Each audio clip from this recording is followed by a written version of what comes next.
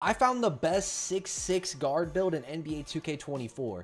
With this build, you can do it all. You can shoot and knock down shots from half court. You can consistently knock down yellow contested shots over your defender. You get all the best dribble moves in the game, which allows you to easily get open for wide open shots. You can quite literally break ankles off ball and get easy wide open catch and shoot shots. And not only that, but you also get elite contact dunks, which is going to allow you to dominate in the five out and on the fast break. You're going to be able to consistently dunk on any defender with a massive green window. So not only are you unstoppable on offense, but you also have defense. You're going to be able to get consistent steals in the lane and on ball plucks. In my opinion, this is by far the best 6-6 guard build in the game. And I also have a second version of this build at the end. So make sure you compare both builds and then just pick the one that works best for you. If you find this video helpful, make sure hit that sub button, hit that noti bell so you don't miss a thing. And make sure to hit that like button if you think this is a W build. All right, so starting off, you guys are want to go 6'6".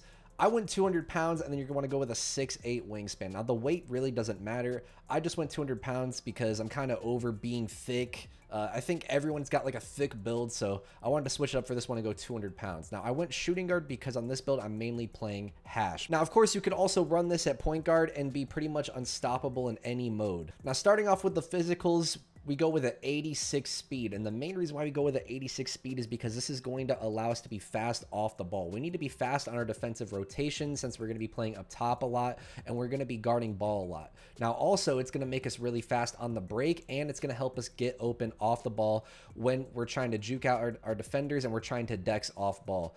Acceleration, go with 73. We're going to need that to get some playmaking badges. And then your vertical, go 82. That's going to be for some contact dunk packages. Now, with the stamina, I went with 93. For your driving dunk, we're going to put this all the way up to a 94. That's right, guys. We're going with a 94 on the first version of this build. That's because I just personally like the elite contact dunks. I feel like you get more contact dunks when you have the elite contact dunks. I know some people say that you only need an 89 and you still get the same amount of contact dunks, but I feel like that's not true. I've played a lot of NBA 2K24 with an 89 driving dunk and with a 94, and me personally, I think that the 94 driving dunk is definitely worth it. Now, the next attribute, we go with a 45 stand dunk, and that's to unlock these two stand dunk packages. That way, when we cut off ball, we're going to be able to get stand dunks. So that's very important. Make sure you go with a 45 stand dunk. Now, getting into the finishing gameplay, you guys are going to see right here, you're going to be the king of the fast break with this 94 driving dunk. I'm telling you right now, guys, you are going to get more consistent contact dunk animations when you go with the 94 driving dunk. You guys are going to get more contact dunks because of that elite contact dunk package. And you guys are going to notice I'm consistently getting those elite contact dunks. So I'm telling you, make sure you go with the 94 driving dunk if you really want to get consistent contact dunks. Now, on top of that, why else do we go 94 driving dunk? We go with 94 driving dunk because we get massive green windows on any defender. If it's a lockdown defender or a 7-3 big man. We are going to get a massive green window every time we go up with a meter dunk as long as they are to our side. You guys are going to notice whenever I go up for these contact dunks, the defender is to my side, and that's going to give me a massive green window every single time. Now, on top of that, we also get Hall of Fame Slithery at a 94 driving dunk, which is an extremely important badge. It's actually really underrated, and it's one of the best driving badges in the game. So that's why we go with a 94 driving dunk. I mean, you guys can see right here, I'm just consistently getting contact dunks. It does not matter who's next to me, they are getting dunked on, whether it's in the Pro Am or the Rec. And that's why this is so important, guys, because literally it doesn't matter who's guarding you. If they are to your side, you're going to get a contact dunk. You're going to dominate the fast break, and you're going to be able to get those stand dunks consistently when you're cutting off ball. So that's why we go with the 94 driving dunk. It's just going to open up so much more opportunities for you. It's literally going to allow you to be unstoppable. So that's why we went with these ratings. Now on to the shooting. As you guys are going to see right here, we're going to max out the three-point shot, of course, with a 92 three ball. This is going to give us that silver agent 3, gold blinders, gold dead eye, silver limitless, gold catch and shoot, gold corner, gold green machine, and we're going to get that gold guard up and gold open looks. All these badges are extremely important because they all stack on top of each other, especially if you're playing off ball. Now, the next rating, we go with a 78 mid-range shot. A lot of people tell me that a 78 mid-range makes a big difference over a 77, so I went with a 78 mid-range. Now, for the free throw, we're not able to max it out at a 99, but we're able to get an 85, so we're going to be able to knock down free throws consistently. Now, getting into the shooting gameplay, as you guys can see right here, I'm taking shots from half court with the heat check. I'm shooting over defenders and I'm able to knock down shots consistently. I'm telling you guys right now, this 92 three ball is literally all you need in this game when you're on a 6-6, especially if you have my jump shot. Make sure you guys check out my most recent jump shot video. I go over the exact jump shot that I use as well as multiple other good jump shots. So definitely make sure you check it out. But like I was saying, you're going to be able to knock down consistent contested shots. You guys can rewind it and look at those past few clips and even the clips on your screen right now. I'm consistently shooting over defenders, knocking down 30 plus percent covered threes. I'm telling you right now, you're going to be able to knock down contested shots like it's nothing with the T-Mac base, with my jump shot releases, and with this build. I'm telling you guys right now, it's going to be so easy to shoot on this build. I'm shooting 70% from three almost on this build consistently. So I'm telling you guys right now, you got to make sure that not only do you make this build, but you're using my jump shot because you're going to be able to consistently knock down shots every single time. All I do is I just look for the ball to come to my head and I'll release it every single time. I don't care who's in front of me. I'm just looking for the same cue. I'm looking at my arms. When that ball comes to my head, I'm letting it go and I'm on the push release timing. Now, as you guys can see off ball, you're going to be a menace off ball. You're going to be able to get open consistently because you're going to have that 86 speed off the ball. You're going to be able to knock down fadeaway threes, especially with takeover. I'm telling you, 92 is literally all you need. That's all you need for a three point shot. And then with that 78 midi, of course, in the half court on the fast break, you're to be able to knock down those mid-range fades consistently. Now you can see right here off ball, I'm hitting my defenders with mean dexes with that silver spot finder. And with the 86 speed paired with it, you're to be able to easily get open off the ball. That's why we go with the ratings that we go with because we want to make sure that we're able to consistently get open off the ball and we want to make sure that we can shoot over our defenders consistently and knock down these contested shots. We also want to make sure that we can cherry pick on the break and easily get open. You guys can see how fast I am off the ball with the spot finder. They literally can't guard me off the ball. I'm quite literally breaking ankles with the routes that I'm running. Like I feel like I'm a wide receiver out there. so like you guys know me, I normally don't play off ball, but I've been loving playing off ball with this build because of the spot finder badge that they added in the game this year. I'm just able to juke around dex with the spot finder, spam the sprint button, fake like I'm cutting, cut back out to the three point line and get wide open shots. You guys can see that mean V cut right there. Like I'm telling you, like it's too fun dexing off ball with this build. The defenders have no idea what I'm doing because I have the 45 stand dunk, the 94 dunk. You got to respect my cut, but then I'll hit you with a dex and I'll get wide open from three. And that's another reason why this build is so OP. All right, now on to the playmaking. So on the first version of this build, we're going with a 60 pass accuracy. Now I've played a ton of 2K24 and honestly guys, as long as you're not running the point guard in 5v5, a 60 pass accuracy is all you need for everything else, whether it's 2v2, 3v3, of course, 1v1, and 5v5 playing off ball. A 60 pass accuracy is all you need. It's very viable. I throw no turnovers with it, and my teammates catch the ball perfectly fine. So on the first version of this build, we go with a 60. Now for the ball handle, we go 87. That's so we get silver killer combos. We get the Kemba Walker escape move, which is really important and that way we also get silver speed booster, silver unpluckable, and gold ankle breaker. And we also get the silver blow by. So that's why we go with the 87.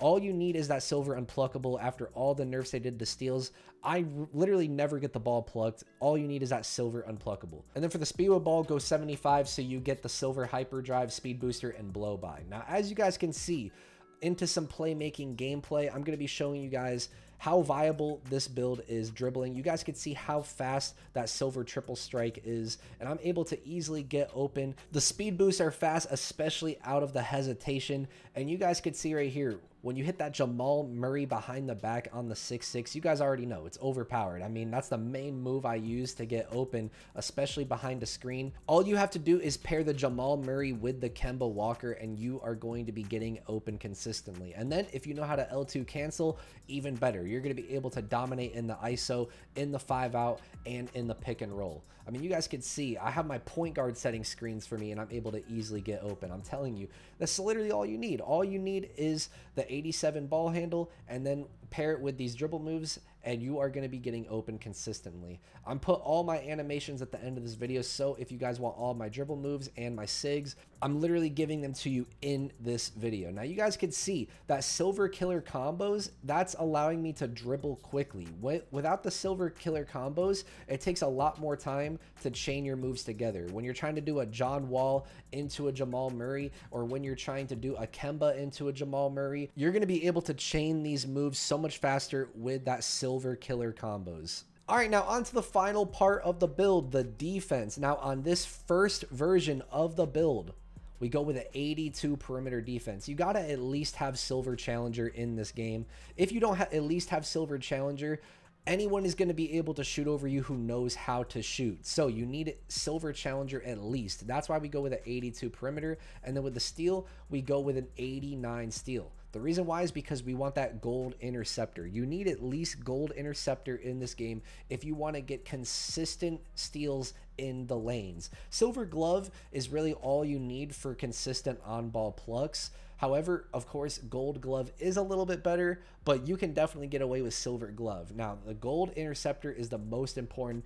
That's why we go with the 89 steal because you need that gold interceptor. That's going to allow you to catch more lane steals. It's going to allow you to have a wider range of balls that you can pick off. So definitely make sure you go with the 89 steal. Now you guys are going to be able to see in this defensive gameplay, we have no issue getting the lane steals and we have no issue getting on ball steals. We're getting consistent three to five steals every single game. So definitely make sure you go with these defensive ratings. Having at least silver glove is going to open up so many opportunities for you. You guys can see I'm able to get blitz steals and then I'm able to just easily dunk it on the break with my 94 contact dunk. I'm telling you guys right now, you're going to be able to get these consistent lane steals, on ball steals. I would say an 89 steal is the bare minimum you need, but you can also be elite with the 89 steal. So that's why we went with the 89 steal on this build. And then on top of that, being able to get elite contact dunks, a 92 three ball with an 87 ball handle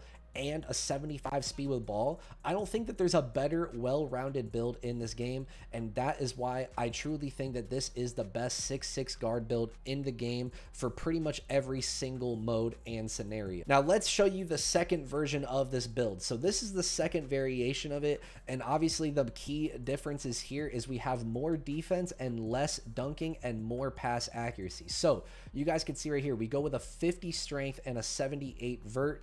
That way we get the basic contact dunk packages. We won't get elite contact dunks, but we get the basic contact dunk packages. So as you guys can see right here with an 89 driving dunk and a 78 vert, we're able to get pro contact dunks off two and pro contact dunks off one. Now, a lot of people claim that you get the same amount of contact dunks with an 89 driving dunk and a 78 vert. I personally disagree. I've played this game a lot with both, but I will say you do get a lot of contact dunks with the 89. So if you're willing to make that sacrifice, you're still going to be dominant with an 89 driving dunk. Now, we go with a 50 strength to get silver clamps. Now, the reason why we want silver clamps is because we go with an 87 perimeter defense. So not only are we going to have silver clamps, but we're going to have gold challenger. So we're going to be able to lock up on ball and then off ball. When we're closing out on shooters, we're going to be able to get consistent contests and make them miss consistently with that gold challenger. This is a great hash build for comp pro-am. The other build is great for comp pro-am too, but the, the gold challenger is going to allow you to contest elite shooters more consistently and make them miss more consistently. Now, as you guys can see for the steal, we go with the 91 steal. That's going to give us the gold right stick ripper and the gold glove. Obviously, gold glove and gold right stick ripper are better than silver, but I personally think that there's not a big difference between silver and gold. That's why on the main version of this build, I went with an 89.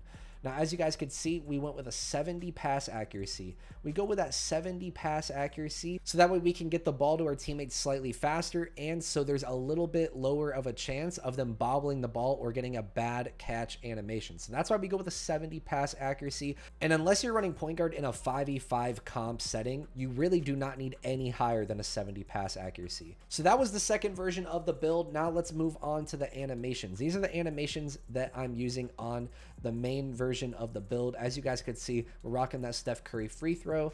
And then I would say the other very important animation you guys need to make sure you have is you're going to want to make sure you have that Pro 2 dribble pull up. Now for the dribble moves, make sure you copy these down. And for the dunks, here's what I'm rocking with. As you guys can see, we don't have any two foot moving dunks except for the contact dunks. So of course, because we have that 94 driving dunk, we got the pro contact dunks off two, and we have the elite contact dunks off two, which you get at that 94 driving dunk with the 82 vert. Now, for your one foot moving dunks, make sure you guys copy down the ones that I have because these one foot moving dunks are going to give you a very low chance of getting blocked. That's what I look for in my one foot moving dunks. I'm looking for dunks that not only are quick and safe, but also have a very low chance of getting blocked. So make sure you guys put on these one foot moving dunks that you see here. And then, of course, for the standing dunks, we went with that 45, so we get two standing dunk packages. These two stand dunk packages are going to allow you to get consistent stand dunks, especially on off ball cuts. And then, of course, for your signature dunks, you're going to want to equip LeBron James and Russell Westbrook. If this video was helpful, make sure to drop a like, and I'll see you in the next one.